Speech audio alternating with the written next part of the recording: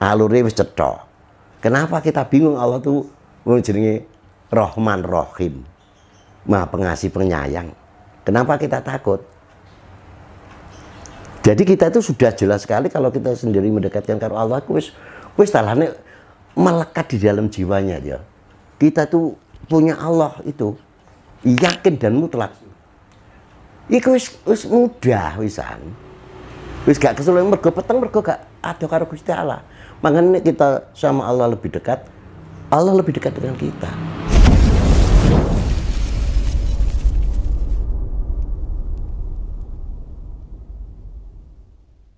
Uh, niku mbak Heeh, apa? Terus ngendikane jenengan kalau wau kan wonten sing namine petunjuk. Heeh, heeh, Wonten sing namine godaan. heeh. heeh. Napa mbak? Nop bedane antarane petunjuk kalian godaan padahal padahal niku kan kadang-kadang niku eh, nek dinalar secara napa nggih? Secara terbuka Heeh. eh, langsung di langsung di eh, kok dipangan lah gampangane Heeh, heeh. meh podo nih Heeh. napa petunjuk niku kadang kadang-kadang niku nggih sae napa sing godaan niku kadang-kadang nggih sae Hmm. nah niku napa bedane Mbak petunjuk kalian godaan kalau Nah, ini pembedaan makanya ana wahyu, keramat, maunah, istijrat. Iki nih didelok kayak sama-sama. Wahyu Kanjeng Nabi sing trima, ya ta. Keramat para wali, maunah para mukmin, istijrat wong kafir. Maksudnya gak berpedoman anu nih tadi. Ya. Nah, iki kesentikane kesaktiannya hampir sama. Tapi ciri-ciri nek kaya maunah ki ndelala kaya manahe mukmin iki ndelala sampean pamane ya. Engko dicegat ngono dibegal pamane sampean. Ndelala maro sampean ngono sama liwat wong turu. Sing gak disengaja. Lah sejene sing diniati. Iku timbule kaya anane kodam, kaya apa? Iku titikane ngene. Iki gawe ning kelura apa ning kehancuran. Iku titenane ngono. Nek intine maknane iki, lah kowe iku kudu ndek pepakem karo dasar. Makanya kalau kita ndak makanya kaya kalau kita wis penak to nyuntuk kaya ana Quran, hadis ya to. Tareh-tareh para nabi. Penak. Awak dhewe jane wis penak ngajine iki. Karek mbuktekno aku tak laku ngene. Lho ning kono mau. Iku sing sing jelas awak dhewe iki jane wis penak. Weton anyar saiki, bungkus anyar iki karek nyuntuk. Makanya kenapa? Kaya mbah-mbah ngandake. Golek ana tapake kuntul nglayang, gali kangkung, susuwe ngangin. Iki sak paket kan? Lah, sing napa Mbak pengertine tapake kuntul nglayang kuwi, kowe ndelok sejarah perjalanan. Iku yang sifatnya merubah sesa. Contohnya kayak sampean. Wiwit cilik lahir, ya, kedunungan eling, ya. Sampai saiki iki terakhir sampean, perjalanan sampean. Pomo sampean biyen tau ning sawah nyolong kacang apa nyolong dele pamane kasarane. Sampean gak sama catat lah eling kan. Perbuatan sampean iki lho. Iya enggak? Mulai eling sampai terakhir jagongan mbak aku sampean iki. Eh? Iku sing dari tak betul lah. lagi pula sejarah para luhur jahe jas merah ki mau titiken deloken piye sejarahe. Ning kene mau. Iku maknane tapake kuntul layang ki mau. Lah, nek sing apik-apik iku lah perlu dicontoh. Iya enggak? nggih Lah, iku iku sing darane tapake kuntul layang. Lah, galih kangkung menggalih kang agung, digalih di Suroso, dimaknani. Ngene lho. Iya kan? Susu ngangin iku anane napas tanapas anpas nupus iki sing mlebu metu ning awak dhewe iki hakikate anane urip kuwi. Gitu lho. Lah itu perlu kan. Ning kono kuwi perlu sing dian makane nek ngaji kuwi nek tanpa pakem iku mbebayani. Makanya kenapa aku selalu dasarku nih kono siji aku mengacu dengan Quran hadis kuwi kaya ijma kiyah nakli akli karo para leluhuriku. Petunjuk duit saran-saran para leluhur sing wis murut ning kasidan jati iku gitu loh. contohnya sing kita kaya yang Ronggo Warsito, kaya sapa iki? Eh, Sunan Kalijogo. Tak sejarah-sejarah ku lah jelas sekali. Gelaran kaya Sisi Dinar Manunggale Kawula Gusti. Iya enggak? Lah, jadi kita itu harus pakai pedoman. Lah, kita dengan cara-cara niku nyontoh lakune. Lah, duwe dinyanyi baru ngrasake. Go. Ya kan, lak penak to. Penak jane ngaji ki jane cetha anune cetha. Makanya pakai dari nakli-akli. Ngono. Di samping akal juga ngai pedomane Quran. Nah. Jadi masalah petunjuk ya. Nggih. Petunjuk kok cobaan. Jadi nek petunjuk, makanya ning kene kaya kita iku wajib iku iso niki mung njaluk ning Gusti Allah. Dadi njaluk petunjuk ning kene engko nek ya iku mang balik kudu laku iku mang. Nek laku iku wis dicakno patrape, lah iku sing darane petunjuk. Pasti petunjuk iku mesti engko awakmu mesti tahu ning kono. Lah, nek cobaan sebetulnya kalau cobaan ning kene iki sebetulnya pengertiannya gak cobaan, tapi ning kene hakikate iku anu peringatan. Contohnya kayak aku dewi. Aku lengah iku waktu lengah ya. Ya aku coba loro tang tahun aku. Iku. Jadi diperingatkan. Lah nek dhewe diperingati dengan penuh kesadaran, lah awak dhewe langsung ngadep ning Gusti Allah, mendekatkan diri sama Allah. Itu anunya. Makanya wis ta dadi wong ini anu rasa bingung lah nek awak dhewe di Gusti Allah, Gusti Allah itu maha segalanya wis gak usah kuatir lah. Gak usah kuatir. Iku mangan ngene ngono mau.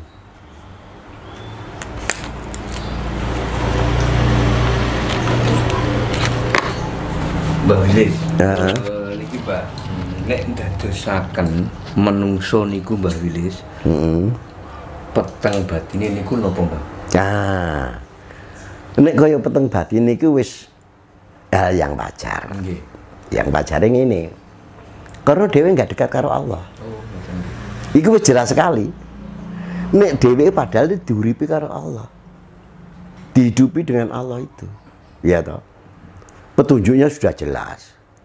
Alurnya wis cetha. Kenapa kita bingung Allah tuh wong jenenge Rahman Rahim. Maha pengasih penyayang. Kenapa kita takut? Jadi kita itu sudah jelas sekali kalau kita sendiri mendekatkan karo Allah, wis wis talane melekat di dalam jiwanya ya. Kita tuh punya Allah itu yakin dan mutlak.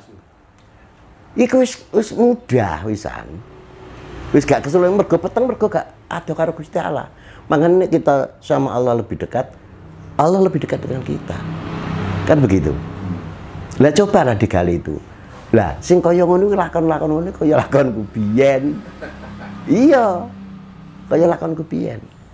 Dadi aku yo sangat sangat maklumi lah, sangat maklumi tenan wi, cetha biang tanune. Cetha banget. Jadi mergo peteng mergo dheweke gak mendekat diri Allah. Coba dheweke selalu mendekatkan diri sama Allah. Itu wis pasti. Ada jalan terang nanti dari Allah gitu. Mbah, eh, kita bergeser ke masalah bencana Wilis. Nah, Eh, setiap akhir tahun Mbah, mm itu kan sering wonten bencana Mbah. Mulai tahun 2006 tsunami Aceh. Terus gempa teng dini Palu juga akhir tahun.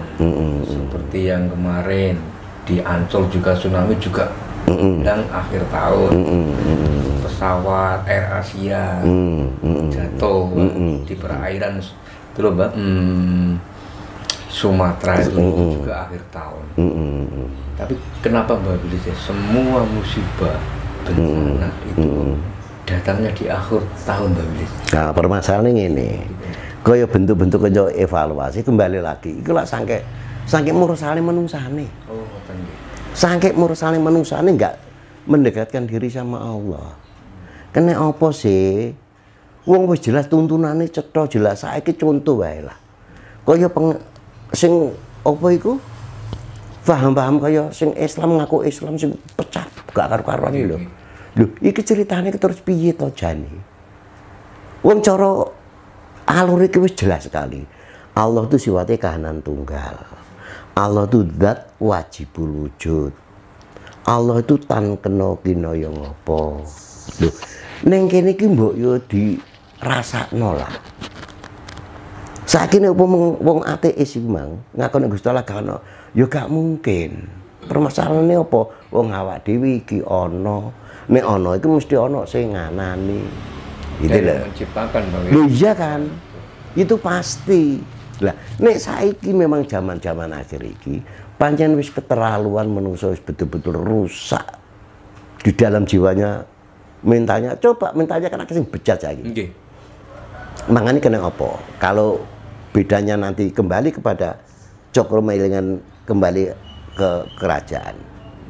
Lho nek jenenge raja iku ya iku tirakate luar biasa, gak main-main.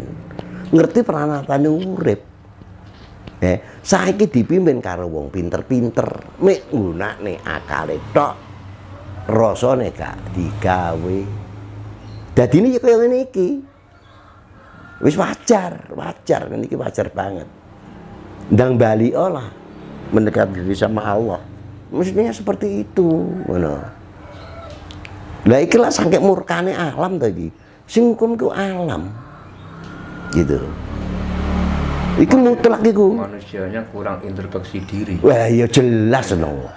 Jelas sekali. Coba rasakno lah menungso-menungso saiki pemerintahane sing kaya apa saiki model iki lho. Eh. Perkara omongan mlebu penjara, mlebu penjara cek enake lah. Eh. Sing sapa iku njiko kayu apa kakao dihukum pirang tahun, sing koruptor. Bebas berkeliaran. gak gak karuan keliarane kaya ngono. Terus ngono ku hukum piye? Apa Gusti Allah nrimake wong dianiaya sing ngono. Kan gak iso. Gitu lah Mbah, eh, kalau melihat situasi seperti ini, Mbah, ya, menurut panjenengan kan keadaan sampun ajur nih. Heeh, ngajur Nopo niki niku Mbah? Salah satu titik awal akan terjadinya guru-guru. nek uti itu bukan titik awal goro iku mulai muncul goro-goro sudah berjalan Iku memang sudah kehendak alam seperti itu karena menungsone kebacut. Menungsone kebacut tenan. Wis lah delok endi model-modele saiki delok endalah. Eh. Lah coba lah saiki dengan ada corona sing ini biyen kuno makuno jenenge begeblok iki biyen iki wis memang ono. Ono. Iki peringatan guru ke gak sefatal iki. Enggak sefatal iki. Coba wong-wong gak ngomong cerita corona wis padha diem gak ada kaya gak lakano. Eh. Apakah ini ada hubungannya nih Mbak Billy sekali 2025 yang banyak diprediksi banyak orang akan ada terjadinya tatanan baru kehidupan di Nusantara. Lah ini makanya ini sudah muncul sing kalau saya punya keyakinan seperti itu. Berarti ini tingkat pembersihan sekarang. Pembersihan. Pembersihan. Besar-besaran gini. Iya, iya. Jadi wis gak asing lah. Bagi saya loh ini untuk saya pribadi, saya tidak asing seperti itu. Karena sudah alam murka ini sudah. Sudah bayangkan akeh kaya ingkar karo Gusti Allah hari. Eh, wong-wong wis nguasai ngembari karo Gusti Allah. Didik-didik musyrik nih wong. Eh, kok opo-opo terus kaya-kaya gede Gusti Allah ya pantes ta. Eh, kok gak sadar. Gusti ku nyiptakne kaya sing najis mula to. Kaya anjing, kaya babi diciptakno kok. Cara berpikir penalarannya piye? Gusti itu alam raya dibuka belah. Terserah kowe nek apik ngene nek elek ngene. Contohnya kaya Nabi Adam ya waktu awal kejadian proses ono mulai Nabi Musa karo Fir'aun nek sing aku Gusti Allah kaya ngene kedadiane ya nggelar keadaan ke keagungan Gusti Allah kebesarane Nabi Sulaiman karo Ratu Bilqis. Eh? Kesabarane kaya Nabi Ibrahim, Nabi karo Ismail, iya kan?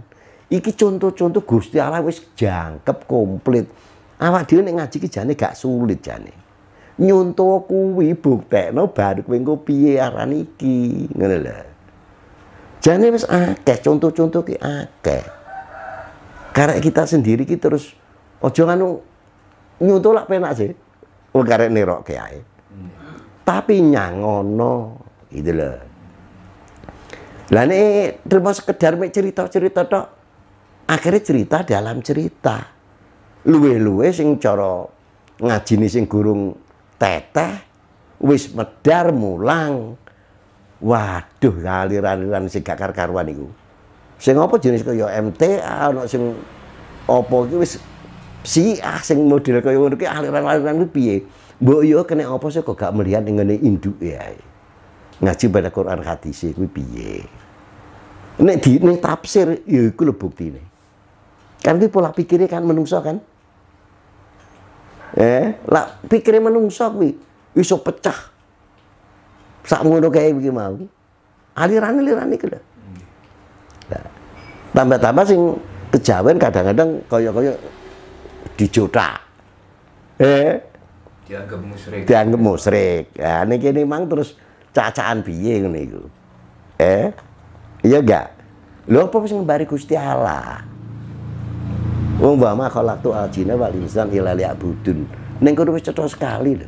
Arep piye? Hmm.